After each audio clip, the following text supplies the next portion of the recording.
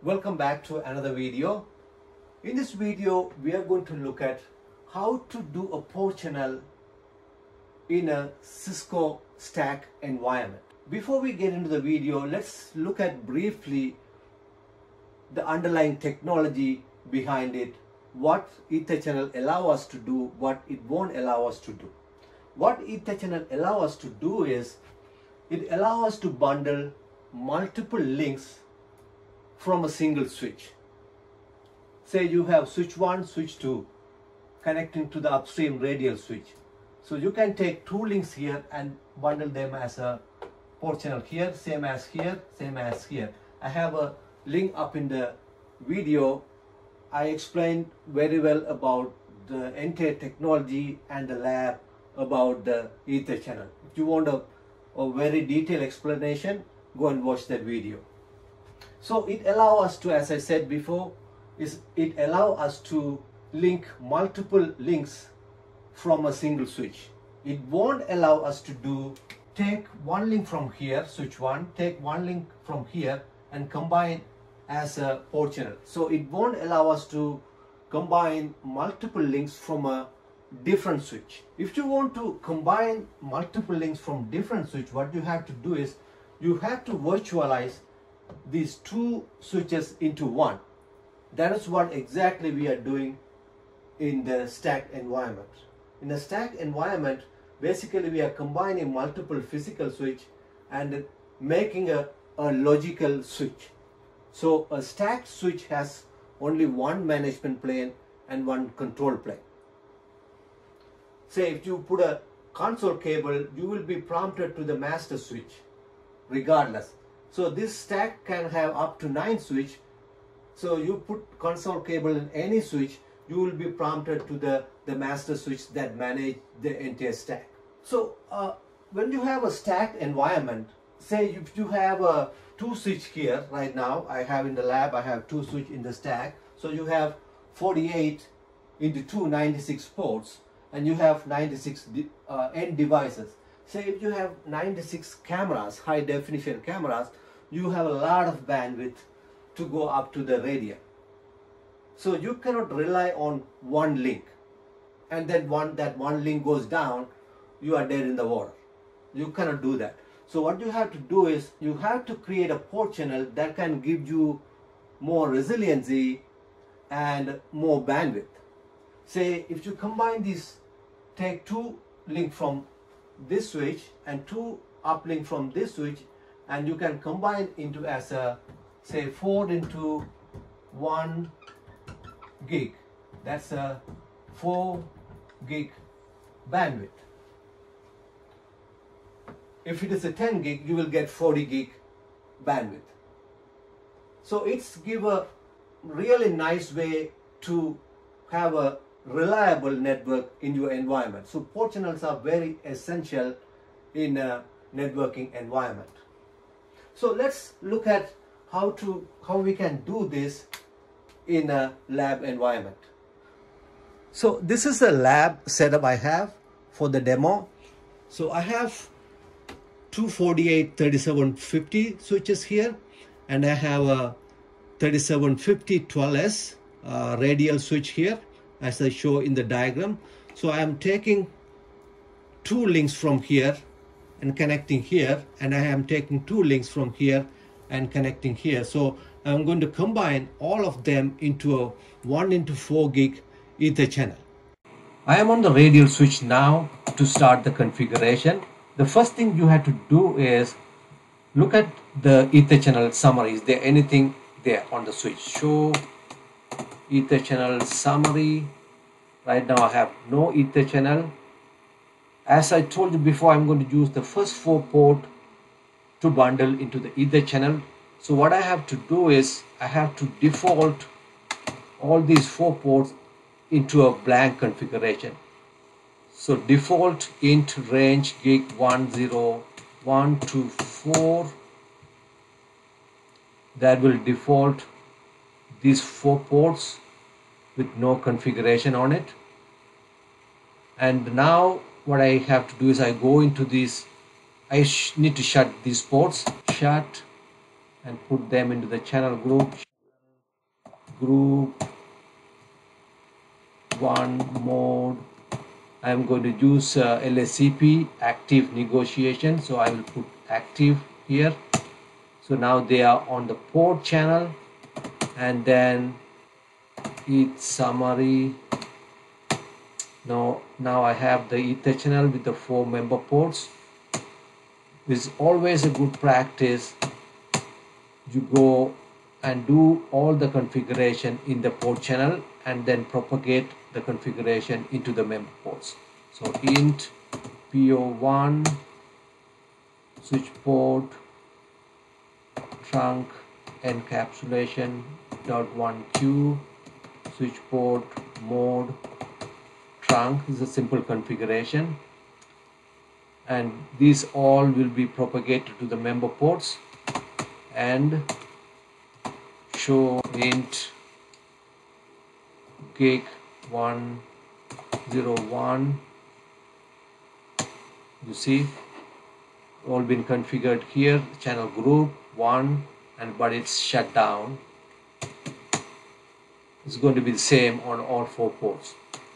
But don't unshut the port yet. Now I'm going to go to the the stack switch. Now I am on the stacked switch. So I'm going to combine port 1 and 3 from slot and port 1 and 3 from slot 2 so slot 1 1 and 3 slot 2 1 and 3 conf t I will do the same thing here also. Conf t default int range gig 101 default interface range gig 101 to 4 I will default all four of them. I'm going to only use two and I will do the same thing. 20124 so all of them are defaulted. And uh, let me shut also. Shut. Oh, I have to go to the interface range. Int range gig 10124 shut and then 210124 shut and then I need to put these ports into the port channel now. So what I would do is exit interface gig 101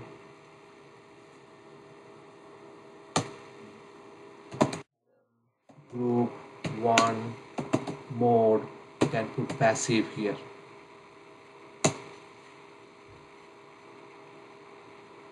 I can do the same thing 103 1 passive.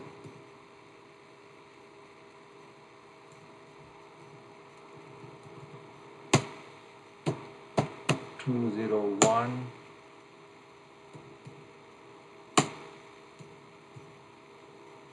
and uh, two zero three.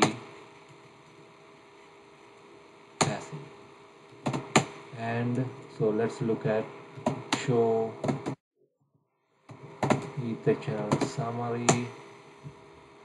Okay you have the ether channel on the stack. All the four ports are here. They are right now down. So let's configure all these ports from the port channel. T int po1 switch port mode switch port trunk encapsulation dot one q switch switch port mode trunk. So they all configured now. And then I go to these ports and I have to unshut these ports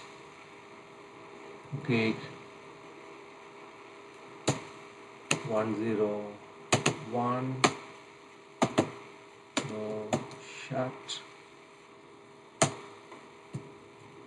Zero two. No. Shut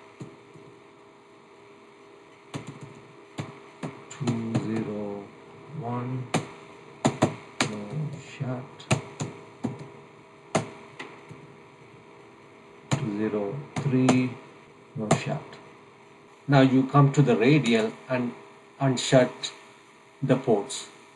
You might ask a question whether we can instead of unshutting all these ports individually can I unshut the port channel? But it is not going to work. So let me try that here in the radial switch. Conf t int po 1 no shut. And show ether channel summary channel is still down. So what I have to do is if I go to the port and see the status the port is still shut. So you have to unshut them from the physical interface point of view. No shut. Okay now the ether channel should be up.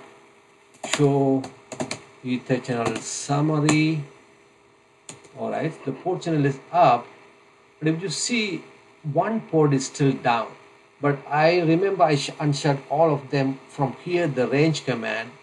So I must have made a mistake not unshutting 102 on the stack. So let's look at the stack. So what I did is I put a wrong port into the channel. I said I supposed to put 1 and 3 that's where the cable is connected so in the stack I see 1 up 3 is down. So let's look at show